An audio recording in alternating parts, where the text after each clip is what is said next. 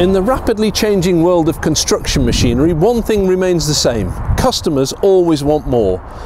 They want more height, they want more speed, and they want more lift capacity. And the powered access market is no different, and that's why when Snorkel updated its 60 foot articulated boom earlier in the year, it threw a few more feet into the equation and brought out this 62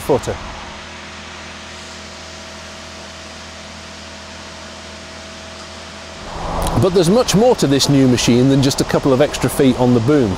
This one is now a true zero tail swing machine. Of course, with an articulating boom, it's not just about working height. This machine offers 11.1 metres of outreach, and with this jib, you get real up and over capability.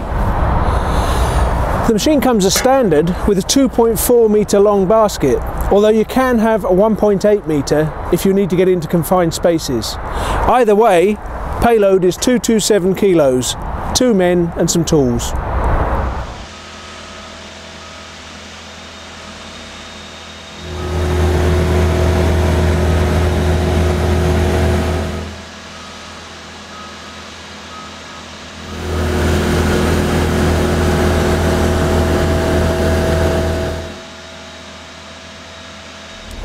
The A62 JRT uses Snorkel's standard control setup.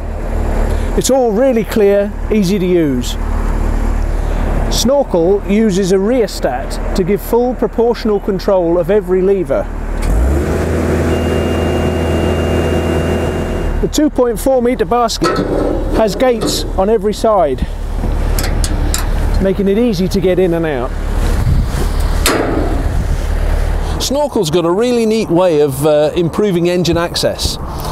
Once you've got the bonnet open, it's just a question of removing a bolt here and swinging the entire platform out. The A62 JRT gets a change of engine. This one is a four-cylinder turbocharged Kubota engine. As with all Snorkel machines, the 62 is no different when it comes to electrics. There's no complex electronics on this machine. It's straightforward relay technology, which is very easy to fault find and repair.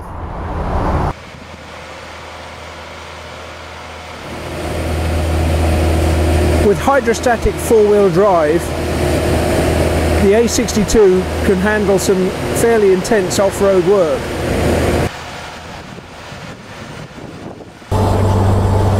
Snorkel hasn't reinvented the wheel by developing this new 62 foot machine, but what it has done is given customers more reach, more lift capacity and more working height and a package with a zero tail swing rear end and a much lighter operating weight.